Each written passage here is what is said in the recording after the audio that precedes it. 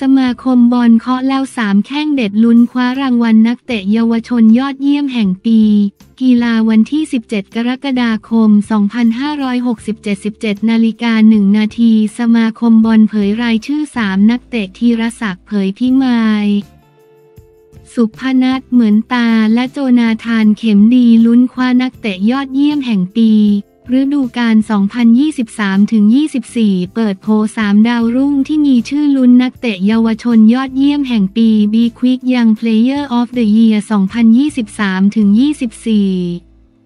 ซึ่งมีคุณสมบัติเป็นนักฟุตบอลเยาวชนชายทีมชาติไทยรุ่นอายุไม่เกิน 23 ปีที่สร้างผลงานโดดเด่นเป็นที่ยอมรับในการแข่งขันฟุตบอลระดับนานาชาติ มีส่วนร่วมกับสโมสรต้นสังกัดอย่างสม่ำเสมอ และมีความประพฤติเหมาะสม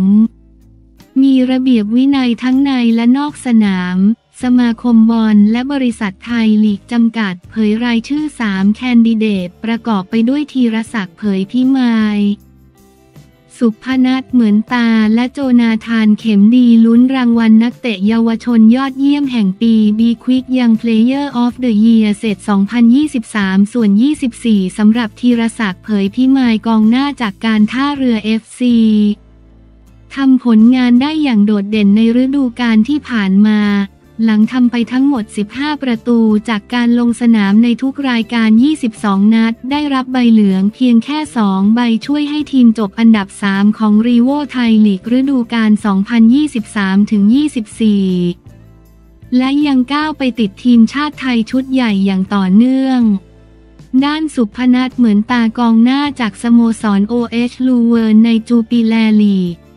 เบลเยียมฤดูกาลที่ผ่านมาลงสนามทุกรายการไปทั้งหมด 15 นัด และช่วยให้ทีมจบอันดับ 12 ของลีกในฤดูกาล 2023-24 ได้อยู่ในลีกสูงสุดของเบลเยียมต่อไป พร้อมกันนี้ยังลงสนามให้ทีมชาติไทย ในรอบปีที่ผ่านมาไปทั้งหมด 11 นัดในทุกรายการพร้อมทำไป 5 ประตู ส่วนโจนาธานเข็มดีกองหลังจากสโมสรราชบุรี FC ในรีโวไทยลีกฤดูกาล 2023-24 ทำผลงานได้อย่างโดดเด่นหลังลงสนามไปทั้งหมด 26 นัดในทุกรายการพร้อมทำหนึ่งประตูและเก็บคลีนชีตได้ทั้งหมด 9 นัด ได้รางวัล Man of the Match 1นัดสำหรับการประกาศในงาน FA Thailand Award เศษ 2023 ส่วน 24 จะจัดขึ้นในวันที่ 24 กรกฎาคม เวลา 17.00 ถึง 20.00 น ที่หอประชุมเมืองไทยประกันชีวิต โดยงานดังกล่าวมีวัตถุประสงค์เพื่อประกาศเกียรติคุณแก่บุคลากรในวงการฟุตบอลด้านต่างๆ เป็นประจำทุกปีหลังจากจบฤดูกาลสำหรับในปีนี้มีรางวัลทั้งสิ้น 30 สาขา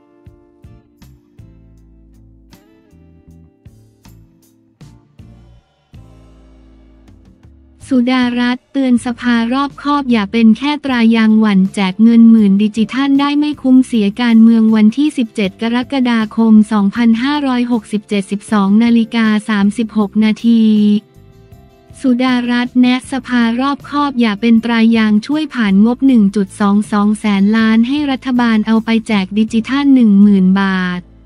ชี้กระตุ้นเศรษฐกิจได้เพียงระยะสั้น ได้ไม่คุ้มเสียกลายเป็นภาระหนี้ของประเทศเมื่อวันที่ 17 กรกฎาคม 2567คุณหญิงสุดารัตน์เกยุราพันธ์หัวหน้าพักไทยสร้างไทยกล่าวถึงสภาผู้แทนราษฎรพิจารณาเรื่องด่วน ร่างพรบงบประมาณรายจ่ายเพิ่มเติมประจำปีงบประมาณ 2567 ที่คณะรัฐมนตรีเป็นผู้เสนอวงเงิน 122,000 ล้านบาท พื่อนำไปทำโครงการเติมเงิน 10,000 บาท ผ่านดิจิทัลวอลเล็ตว่าเงินที่จะกู้มาแจกมีถึง 450,000 ล้านบาทนั้นเท่ากับ 2.5%ของ GDP แต่รัฐบาลบอกว่าจะสามารถเพิ่ม GDP ได้ 1.2 ถึง 1.8%และจะโตเพียงช่วงสั้นๆเพราะเป็นการแจกเงินที่ใช้แล้วหมดไปไม่ก่อให้เกิดการสร้างงานสร้างรายได้หรือปรับโครงสร้างเศรษฐกิจที่ยั่งยืน จึงห่วงใยว่า โครงการนี้ได้ไม่คุ้มเสีย เพราะเงินกู้จำมหาศาลจะกลายเป็นภาระหนี้ให้กับประเทศ และคนไทยไปทั่วลูกทั่วหลานโดยเฉพาะเมื่อพิจารณาจากสถานการณ์ของหนี้ครัวเรือนที่พุ่งสูงขึ้นอย่างต่อเนื่องเป็นประวัติการในปัจจุบัน ถือเป็นสัญญาณอันตรายอย่างยิ่ง เพราะตัวเลขพุ่งไปที่ 91%หรือเท่ากับ 16.3 ล้านล้านบาทหัวหน้าพักไทย สร้างไทยกล่าวว่าที่สาหัสไปกว่านั้นคือสินเชื่อรวมภายใต้ข้อมูลของเครดิตบูโร 13.6 ล้านล้านบาท กลายเป็นหนี้เสียไปแล้วถึง 1.09 ล้านล้านบาท หากเทียบกับไตรมาสที่ผ่านมาที่หนี้เสียอยู่เพียง 1.05 ล้านล้านบาทเท่านั้น สะท้อนว่าหนี้เสียยังคงพุ่งต่อเนื่อง อาทิหนี้เช่าซื้อรถยนต์เป็นหนี้เสียถึง 2.38 แสนล้านบาท เติบโตขึ้นต่อเนื่อง 32เปอร์เซนต์และหนี้ที่อยู่อาศัยอีก 1.99 แสนล้านบาท เติบโตขึ้น 18.2เปอร์เซนต์สินเชื่อบุคคลอีก 2.6 แสนล้านบาท เติบโตขึ้น 12เปอร์เซนต์และบัตรเครดิต 6.3 หมื่นล้านบาท เติบโตขึ้น 14.6%ขณะที่หนี้ที่กำลังจะเสียแต่ไม่เกิน 90 วัน หรือกลุ่ม SM เพิ่มขึ้นมาอยู่ที่ 6.4 แสนล้านบาท ทั้งหมดยังไม่นับรวมหนี้นอกระบบที่รัฐบาลไม่สามารถแก้ไขได้ แม้จะมีโครงการออกมาแก้ปัญหาก็ตาม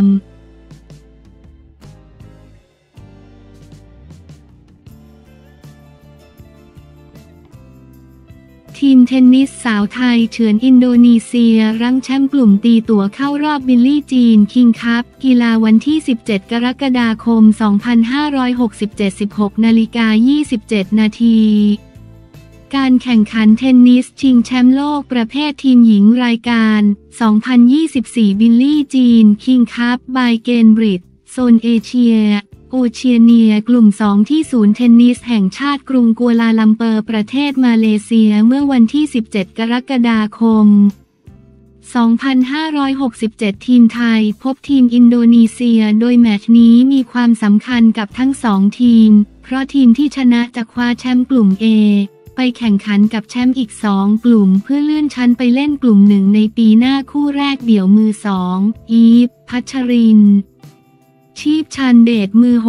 627 ของโลก พบฟิเตรียนีซาบาตินีวัย 23 ปี โดยเซตแรกพัชรินที่พบความมั่นใจจากการคว้าแชมป์รายการอาชีพในประเทศไทย 2 รายการโชว์ฟอร์มได้อย่างยอดเยี่ยมเอาชนะไปก่อน 6-2 จากนั้นเซต2สาวไทยยังเล่นได้อย่างเหนือกว่า เหนียวแน่นและผิดพลาดน้อยชนะไปอีก 6-2 สรุปพัชรินชนะ 2-0 เซต 6-2 6-2 พาทีมไทยขึ้นนำ1-0 คู่คู่ 2 เดี่ยวมือ 1 ไหม มนัญชยาสว่างแก้วมือ 206 ของโลก พบเบียตริสกูมุลยา ผลปรากฏว่าเซตแรกเกมสูสีมนัญชยายังเครื่องไม่ร้อนมีจังหวะผิดพลาดหลายคะแนนจบเกม 6 ยังเสมอ3-3ก่อนที่นักขวดไทยจะมาเบรกเกม 7 ขึ้นนำ4-3และชนะไป6-3เซต 2 กูมุลยาเบรกได้ตั้งแต่เกมแรกและรักษาเสิร์ฟขึ้นนำ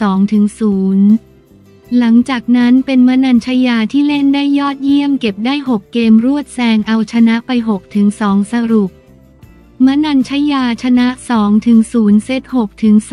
3 6ถึง2พาทีมไทยขึ้นนำ2ถึง0คู่ ซึ่งชนะแน่นอนแล้วจากนั้นเป็นการแข่งขันประเภทหญิงคู่ มนัญชยาคู่มือ 683 ของโลก และเอิร์ธเพียงทานผลิพืชคู่มือ 120 ของโลก พบมิชก้าโกนาดีและซีโลว่าฮุกมาซาบิยา ผลปรากฏว่าคู่ไทยขอยอมแพ้ในขณะที่ตามอยู่ 1-2 เกมในเซตแรก เนื่องจากเพียงทานมีอาการเจ็บเข่าส่งผลให้มนัญชยากับเพียงทานแพ้ไปด้วยสกอร์ 1-2 ret.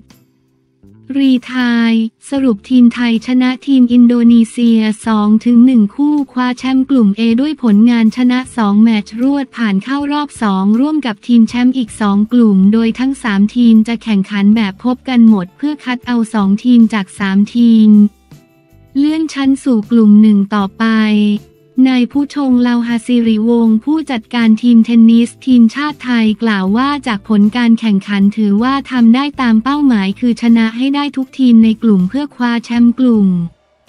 หลังจากนี้ยังมั่นใจว่าไทยจะเลื่อนชั้นกลับสู่กลุ่มหนึ่งได้อย่างแน่นอนในวันที่ 18 กรกฎาคม 2567 นางสาวลดา ภู่มาศเอกอัครราชทูตณกรุงกัวลาลัมเปอร์ ให้เกียรติเป็นเจ้าภาพเลี้ยงอาหาร เพื่อเป็นเกียรติและให้กำลังใจแก่คณะเทนนิสทีมชาติไทย ชุดบิลลี จีน คิงคัพที่เดินทางมาแข่งขันที่กรุงกัวลาเปอร์เพื่อสร้างขวัญกำลังใจในการทำผลงานที่ดี ซึ่งต้องขอขอบพระคุณท่านเอกอัครราชทูตณกรุงกัวลาลัมเปอร์ และคณะเจ้าหน้าที่สถานเอกอัครราชทูตเป็นอย่างมาก โค้ชเอก นายพัชรพลคำสมานกัปตันทีมไทยกล่าวว่า ขอบคุณทุกคนที่ช่วยกันเล่นและเต็มที่กับทุกแต้ม พอใจกับผลงานในภาพรวมของรอบแบ่งกลุ่มที่ชนะมาได้ทั้งสองแมตช์ตอนนี้ทุกคนเริ่มเรียกฟอร์มที่ดีของตัวเองมาได้แล้วการเข้าสู่รอบต่อไปไม่ว่าเจอกับทีมไหนก็ต้องไม่ประมาท ยังมั่นใจมากว่าจะได้เลื่อนชั้นอย่างแน่นอน เรื่องร่างกายนักกีฬาได้มีการดูแลกันอย่างดีที่สุด ให้ทุกคนมีความพร้อม ในรายของเพียงทานที่เจ็บเข่าก็ไปพบแพทย์เพื่อตรวจอย่างละเอียด เพราะจะต้องเป็นกำลังสำคัญในอีกสองแมตช์ที่เหลือพัชรินกล่าวว่าพยายามเร่งเกมให้เร็วตั้งแต่เซตแรก เพื่อให้เกมเข้าทางตัวเองมากที่สุด แต่คู่แข่งเล่นแบบเน้นเหนียวแน่นทำให้ต้องจับจังหวะอยู่ช่วงหนึ่ง หลังจากนั้นก็เข้าทางและสู้เต็มที่ทุกช็อตจนเอาชนะได้ ซึ่งช่วยสร้างความมั่นใจให้สู้กับแมตช์ต่อไปได้มาก มนัญชยากล่าวว่า เล่นได้ตามเกมที่วางไว้ แต่เซตแรกอาจจะมีจังหวะที่ยังขาดขาดเกินเกินบ้าง แต่ก็ปรับจังหวะให้เข้ากับแผนที่โค้ชวางมาก ดีใจที่ชนะได้และช่วยให้ทีมเข้ารอบ หลังจากนี้จะยังเต็มที่ไม่ว่าจะเจอกับใครก็ต้องพยายามชนะให้ได้ ในส่วนผลการแข่งขันคู่อื่นๆ มีดังนี้กลุ่ม B ฮ่องกงชนะมองโกเลีย 2-1 คู่สิงคโปร์ชนะปากีสถาน 3-0 สำหรับกลุ่มนี้ฮ่องกงคว้าแชมป์กลุ่มด้านกลุ่ม C มาเลเซีย ชนะอุซเบกิสถาน 2-1 คู่ ศรีลังกาชนะคีกิสถาน 2-1 คู่ โดยกลุ่มนี้มาเลเซียคว้าแชมป์กลุ่มสรุปทีมที่ผ่านเข้ารอบในฐานะแชมป์กลุ่ม ได้แก่ไทย ฮ่องกง มาเลเซีย โดยจะแข่งขันระหว่างวันที่ 18-20 กรกฎาคม 2567 แข่งขันแบบพบกันหมด โดยทีมไทยจะพบกับฮ่องกงในวันที่ 18 กรกฎาคม 2567 เป็นทีมแรก